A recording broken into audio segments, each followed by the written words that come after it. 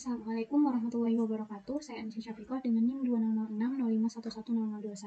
Di sini akan mempresentasikan mengenai hasil uh, praktikum untuk UAS yang saya buat. Di sini saya membuat aplikasi yaitu aplikasi pembaca berita atau uh, list-list berita.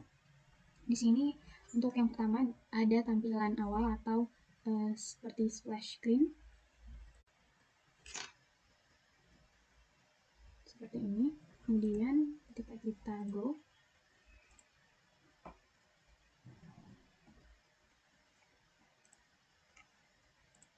Maka akan diarahkan ke login. Ke menu login. Pada login di sini akan coba untuk login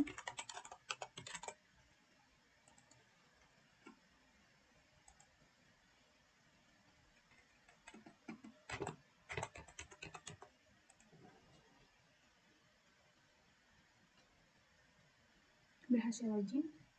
Ini untuk tampilan e, menu utama. Pada tampilan menu utama di sini akan terdapat list-list berita e, umum, berita internasional yang tidak diberi kategori. Jadi akan ditampilkan secara umum. Seperti ini ada bisnis, kemudian ada 20 minutes, ada time dan lain-lain. Kemudian di sini ada e, drawer. Drawer di sini sebagai penampil untuk menu-menu kategori berita. Sini ada berita dengan kategori bisnis, kemudian ada sport, ada education, dan juga nature. Misalnya kita buka sports.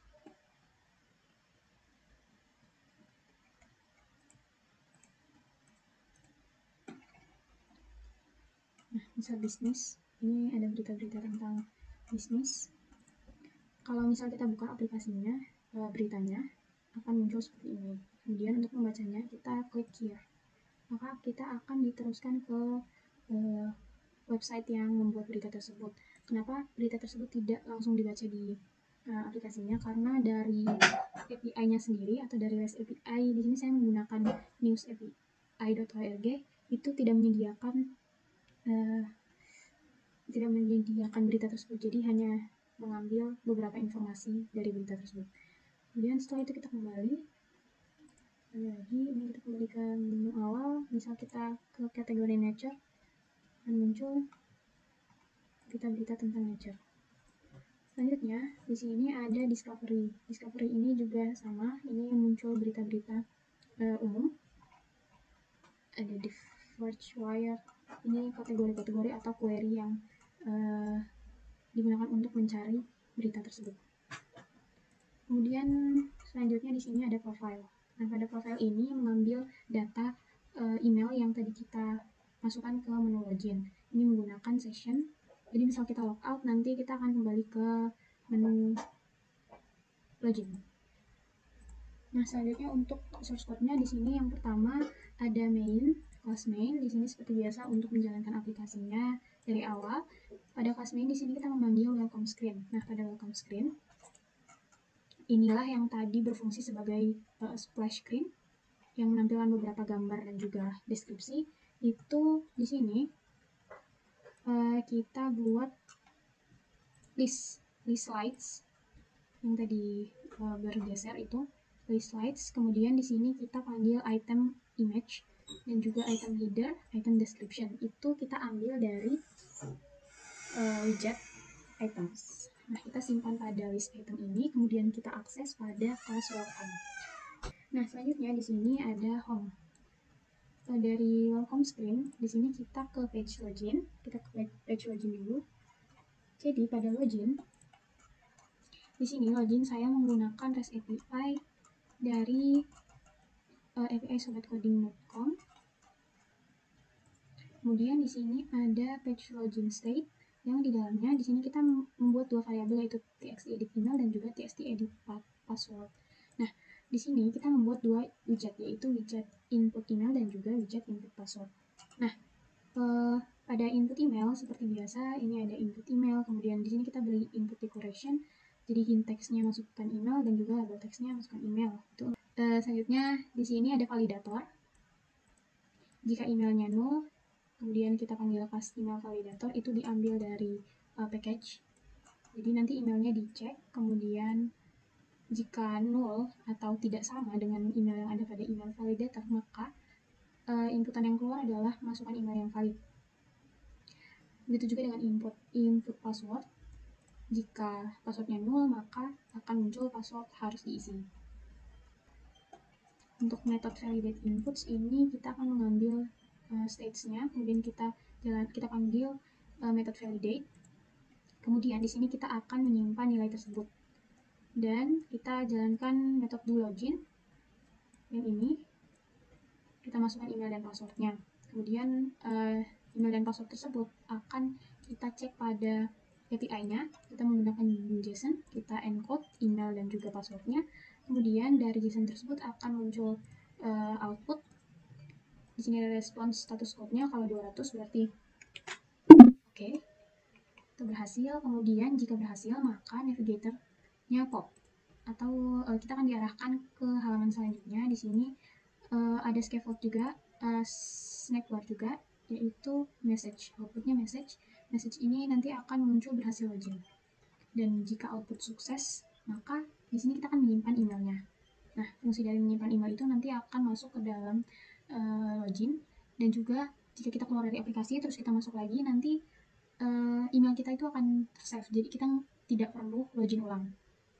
Nah, sedangkan jika salah, jika responsnya itu tidak 200 atau bisa 400 atau 500 itu uh, respons untuk exception atau error, maka pop. Jadi kita tidak bisa masuk ke dalam uh, halaman selanjutnya. Kemudian ini untuk save stationnya. Di sini kita simpan email dan juga is login sama dengan true. Dan juga ini adalah metode navigator push and remove until ini untuk rutenya jadi setelah dari sini kita akan diarahkan ke nih void check login jadi jika loginnya berhasil jika sedang login yang tadi kita simpan di atas pada uh, share ah save station nah ini save station ini jika is login maka kita akan kita boleh mengakses eh, halaman-halaman selanjutnya dan halaman pertama yang akan diakses adalah homepage di sini selanjutnya pada homepage, di sini ada terdapat beberapa screen dan juga button navigation bar. Nah, screen-screen ini yaitu ada main, discover, dan juga card profile. Isinya semua adalah berita. Untuk main, ada kelas main di sini, bedanya di sini saya tambahkan drawer. Nah, drawer ini yang berisi kategori-kategori yang tadi. Jadi ketika kita pencet, ini akan diarahkan ke eh, halaman-halaman uh, dari halaman-halaman dari berita-berita tersebut. Di sini ada bisnis, sport, education, dan juga nature. Selanjutnya di sini pada badinya juga menampilkan artikel. Di sini kita get artikel.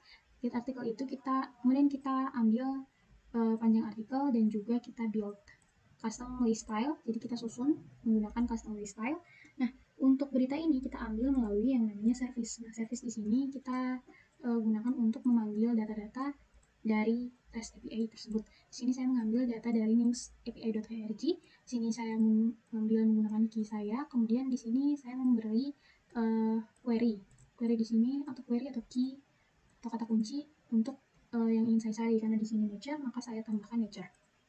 Selanjutnya di sini kita uh, akan get article menggunakan asynchron dan ini adalah tahap-tahap untuk mengambil data dari REST API. Nah, setelah itu akan muncul pada halaman ini, seperti ini. Nah, untuk news yang lain juga sama, kurang lebih sama. Dan selanjutnya yang terakhir di sini adalah card profile. Card profile di sini mengambil data yang tadi, data login yang tadi. Is login, get bool, is login, kemudian jika loginnya tidak sama dengan nol dan loginnya itu true, maka kita ambil emailnya.